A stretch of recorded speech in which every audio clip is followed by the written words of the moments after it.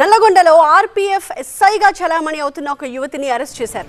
శంకరపల్లిలో విధులు నిర్వహిస్తున్నట్టుగా మాళవిక అందరినీ నమ్మించింది. RPF SI పేరుతో ఒక ఐడిని యూనిఫామ్ని కూడా సిద్ధం చేసుకుని ఇన్స్టాగ్రామ్లో రీల్స్ కూడా చేసింది. అంతేకాదు పెళ్ళి సంబంధాలకు కూడా యూనిఫామ్లోనే వెళ్ళింది మాళవిక. అబ్బాయి తరపున బంధువులు ఆరా తీయడంతో ఈ ఫేక్ భాగోతం అంతా వెలుగులోకి వచ్చింది. ఏడాది కాలంగా నకిలీ ఎస్ఐగా మాళవిక చెలామణి అయింది. మాళవికను నల్లగొండలో అరెస్ట్ చేశారు పోలీసులు.